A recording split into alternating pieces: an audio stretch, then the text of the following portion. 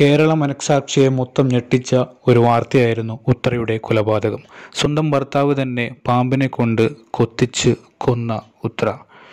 ഉത്രയെ കൊലപ്പെടുത്താൻ സൂരജിന് നിരവധി കാരണങ്ങൾ ഉണ്ടായിരുന്നു. അല്പം മന്ദതയുള്ള ഉത്രയെ കല്യാണം കഴിച്ചത് തന്നെ സൂരജ് സ്വത്തുക്കൾ മുന്നിൽ കണ്ടായിരുന്നു. കണക്ക് പറഞ്ഞാണ് സ്ത്രീധനം സൂരജ് വാങ്ങിയെടുത്തത്. സ്വർണത്തിനും പണത്തിനും പുറമെ സൂരജ് ആവശ്യപ്പെട്ടിട്ട് ബലേനോ കാറും ഉത്തരയുടെ വീട്ടുകാർ നൽകിയിരുന്നു.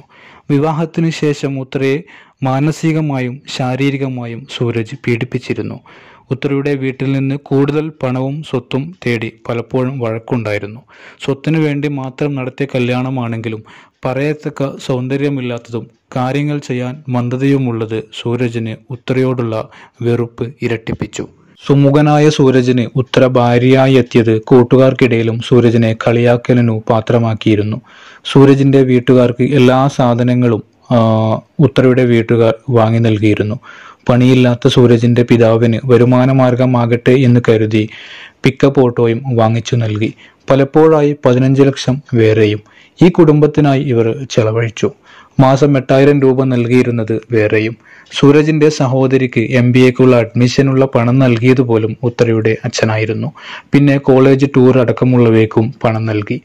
പലതും ഉത്രയെ കൊണ്ട് നിർബന്ധിച്ചാണ് സൂരജ് വീട്ടുകാരുടെ പക്കൽ നിന്നും വാങ്ങിയത്.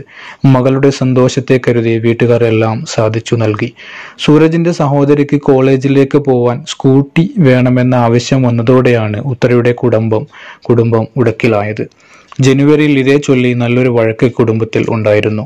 ഉത്രയ്ക്ക് മാനസിക ശാരീരിക പീഡനം ഉണ്ടാകുന്നു എന്ന് വീട്ടുകാർ അറിഞ്ഞതോടെ വിവാഹമോചനം നേടാമെന്ന് വീട്ടുകാർ തീരുമാനിച്ചിരുന്നു. ഇതേ തുടർന്ന് ഉത്രയോട് ബാഗ് പാക്ക് ചെയ്ത് വെക്കാൻ പറഞ്ഞ് വീട്ടുകാർ മകളെയും കുഞ്ഞിനെയും കൂട്ടാൻ സൂരജിന്റെ വീട്ടിൽ എത്തിയിരുന്നു. എന്നാൽ ഇനി പ്രശ്നങ്ങൾ ഉണ്ടാകില്ല എന്ന് പറഞ്ഞ് സൂരജ് കാലിൽ വീണതുകൊണ്ടാണ് ഉത്ര മാതാപിതാക്കളോടൊപ്പം മടങ്ങാൻ തയ്യാറാകാത്തത്. ഉത്ര ഇങ്ങനെ ദ്രോഹിച്ചാൽ വിവാഹമോചനം തന്നേക്കാൻ അച്ഛൻ അടക്കം പറയുകയും ചെയ്തു. വിവാഹമോചനത്തിലേക്ക് കാര്യം എത്തിയപ്പോഴാണ് സൂരജിന് സ്ത്രീധന തുക മുഴുവൻ തിരികെ നൽകേണ്ടി വരും എന്ന് മനസ്സിലായത്. തൊണ്ണൂറ്റാറ് പവനും അഞ്ച് ലക്ഷം രൂപ കാറ് മൂന്നേകാൽ ലക്ഷം രൂപയുടെ പിക്കപ്പ് ഓട്ടോ എന്നിവയെല്ലാം തിരിച്ചു കൊടുക്കേണ്ടി വരും. ഉത്തരയുടെ അമ്മ അടുത്ത മാസം വിരമിക്കുമ്പോൾ കിട്ടുന്ന അറുപത്തഞ്ച് ലക്ഷം രൂപ രണ്ട് മക്കൾക്കായി വീതിച്ചു കൊടുക്കുമെന്ന് നേരത്തെ പറഞ്ഞിരുന്നതാണ്. അതും കയ്യിൽ നിന്ന് പോകും. ഇതോടെ അനുനയത്തിന്റെ പാതയിലായി സൂരജും കുടുംബവും. തുടർന്നാണ് ഉത്രയെ കൊല്ലാൻ സൂരജ് പദ്ധതി ആസൂത്രണം ചെയ്തത്. ഉത്ര മരിച്ചാൽ കുഞ്ഞിന്റെ പേരിലോ സൂരജിന്റെ പേരിലോ ആയി സ്വത്തുക്കൾ എഴുതിക്കിട്ടുമെന്ന് എഴുതി കിട്ടുമെന്ന് സൂരജ് കണക്ക് കൂട്ടി. സുന്ദരിയായ മറ്റൊരു യുവതിയെ ജീവിതത്തിലേക്ക് കൂട്ടുകയും ചെയ്യാമെന്ന് സൂരജ് കരുതി. എന്നാൽ എല്ലാം പാളി. ജയിലിൽ കഴിയാനാണ് സൂരജിന്റെ വിധി.